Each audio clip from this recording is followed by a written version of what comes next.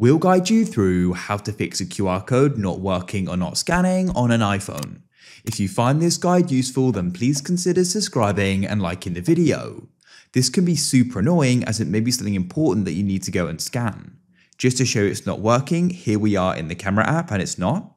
So first of all, open up the settings on your iPhone like so.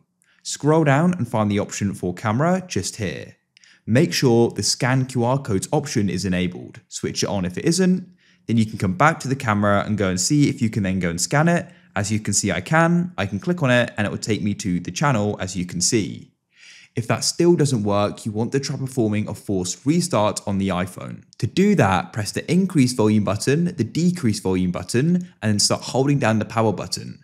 Keep on holding it down, your phone screen should go black, and you should then go and see the Apple icon. Release it at that point, your phone will restart, and hopefully then QR codes will be working. If it still doesn't, then double check the QR code is definitely working with another device. If you found this useful, then leave a like.